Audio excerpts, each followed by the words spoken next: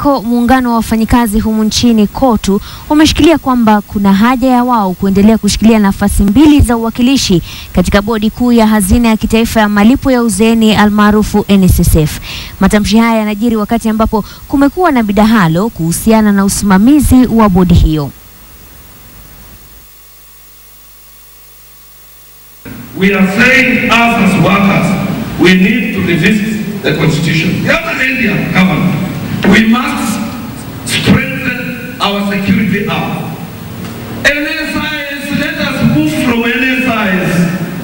Let's go back to the old special branch. This is the time for us to start looking for a second liberation in the region to bring about changes, changes that are relevant to us, to our children, posterity, our grandchildren,